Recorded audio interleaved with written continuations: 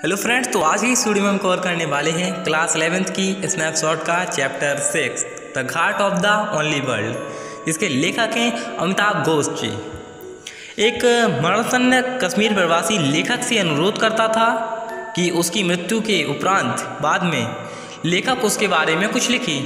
यह निम्नलिखित जो लेख है, वह अमिताभ घोष ने अपना वचन निभाते हुए लिखा है, जो इस पाठ के लेखक हैं अमिताभ घोष साहब।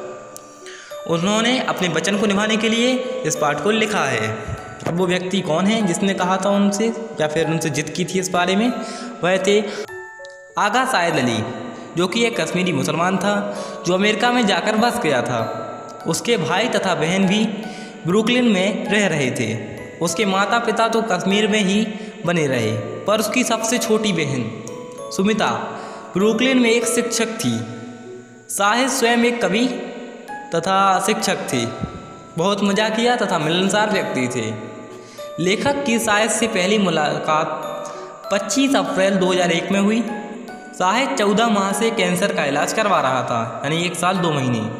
अक्सर उसकी याददाश्त फेल हो जाती थी। फिर भी वह चल फिर रहा था और उसने बताया, मैं मरने वाला नहीं हूँ। लेखक हैरत में पड़ गया। जब उसने उसकी मृत्यु के विषय पर बात की लेखक ने उससे कहा, नहीं साहिद नहीं, तुम ठीक हो जाओगे। साहिद सीधे अपनी बात पर आ गया। वह बोला, जब मेरी मृत्यु हो जाए तो मैं आशा करता हूँ कि तुम मेरे बारे में एक लेख लिख दोगे। साहिद को पहला दौरा, जो दौरा पड़ता है ना कैंसर में, वह फरवरी 2000 में पड़ा। परीक्षणों से पता चला कि साहिद के मस्तिष्क में एक गांठ है। वह मैनहट्टन में रह रहा था, पर अपनी अस्वस्थता को देखते हुए उसने अपनी बहन के निकट ही ब्रुकलिन में घर ले लिया, क्योंकि उसको पता था कि वह स्वस्थ नहीं है और उसने सोचा कि मैं अपनी बहन के पास चला जाऊँ। अब वह अब लेखक के फ्लैट से कुछ घर दूर ही रहता था। लेखक ने शायद को वचन दे दिया कि वह निश्चित रूप से उसके बारे में लेख लिखेगा। उसने सारी बातचीत को अपनी डायरी में लिख लिया। अगले कई वर्षों तक जब साहिद जीवित रहा वह उससे संबंधित हर बात नोट करता रहा। साहिद की मृत्यु 8 दिसंबर को शांतिपूर्वक हो गई। लेखक की साहिद से अंतिम बार मुलाकात 27 अक्टूबर को उसके भाई के घर पर हुई थी। साहित्य को अपनी मृत्यु निकट आती दिख रही थी, पर उसने कोई दुख या उदासी नहीं दिखाई। वह शांत तथा संतुष्ट था।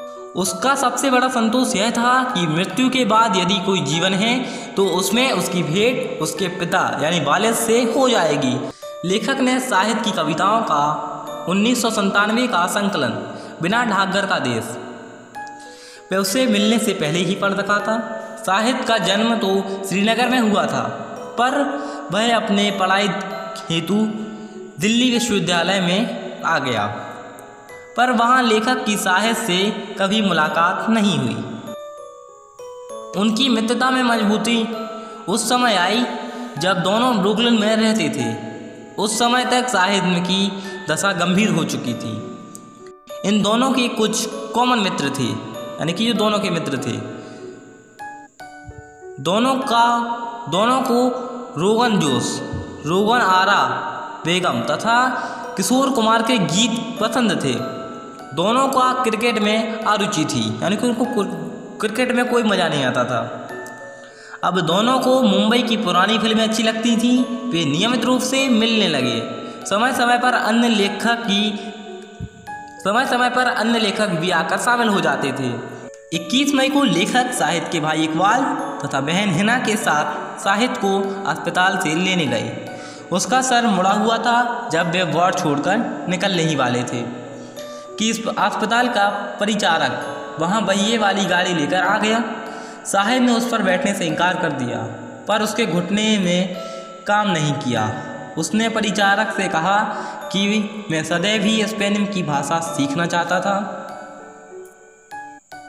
साहिद को कश्मीरी खाना तथा मित्रों का जमघट पसंद था। एक भी शाम ऐसी नहीं जाती थी जब उसके घर पर कोई पार्टी ना हो। उसकी इस पसंदगी का कारण था अपनी उदासी से छुटकारा। उसका फ्लैट भवन की सातवीं मंजिल पर था। वहाँ से नगर के भवनों से बटा अद्भुत क्षितिज ईस्ट नदी के पार दिखाई देता था। जब उसके फ्लैट पर पहुँचने के लिए कोई भी ऊपर जाता था तो सीढ़ी पर उसे रोगन जोश की फ़िल्मों के गाने सुनाई पड़ जाते थे। उन गीतों की धुन सुनाई पड़ने लगती थी। इस महफिल में शरीफ होने वाले लोग थे कवि, छात्र, लेखक तथा सगे संबंधी। लगभग मृत्यु के समय तक साहित्य बातचीत हँसी मज़ाक खाना पीना तथा काव्य पाठ का केंद्र बना रहा। पार्टी में ऐसी ही एक पार्टी में जो एरिजोना में आयोजित की गई थी वहाँ पर साहित्य की भेंट जेम्स मेडियल से हो गई थी।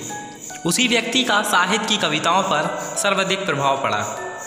साहित्य ने अप, अपनी साहित्य ने अपनी आसन्न मृत्यु का ज़िक्र अपनी एक कविता में किया था। मैं सपना देखता हूँ कि मैं एकमात्र संसार का घाट पर खड़ा हूँ। यह उनकी कविता का टाइटल था, या फिर पहली लाइन भी कह सकते हैं। साहित्य को कश्मीरी खाना बहुत पसंद था, यदि वह पंडितों की शैली का बनाया गया हो।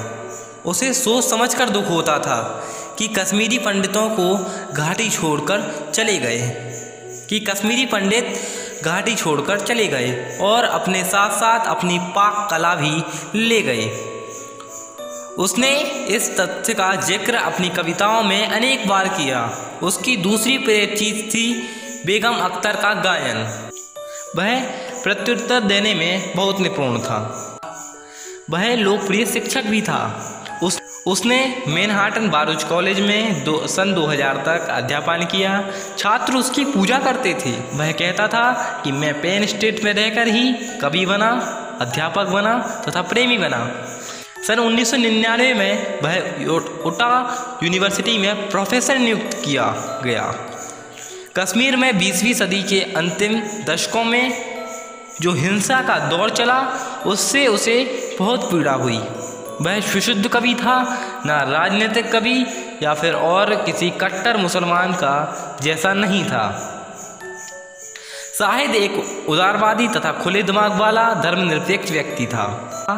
बचपन में उसने एक बार अपने कमरे में हिंदू मंदिर स्थापित करने की इच्छा व्यक्त की थी।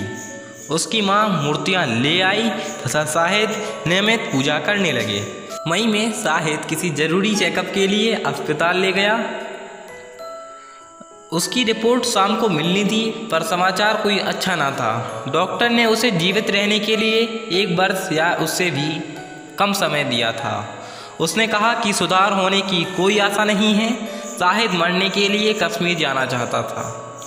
बाद में कुछ कारणों से उसने अपना विचार बदल लिया। वह नॉर्थ इंड में दफनाए जाने के लिए राज़ी हो गया। अतः दिसंबर को वह परमात्मा को प्यारा हो गया। कि हमने पूरी समझी को समझ लिया है। उनसे एक ऐसा व्यक्ति जो मर चुका है कश्मीर का वह लेखक से पहले अनुरोध करता था कि उसकी मृत्यु के बाद लेखक उसके बारे में कुछ लिखे और वह निम्नलिखित लेख। और वह निम्नलिखित लेख यह है, अमिताभ घोष ने अपना वचन निभाते हुए जो कि लिखा है। फ्रेंड्स यदि आपको यह चैप्टर समझ में आया हो तो वीडियो को लाइक करें कमेंट करें शेयर करें सब्सक्राइब करें। Thank you so much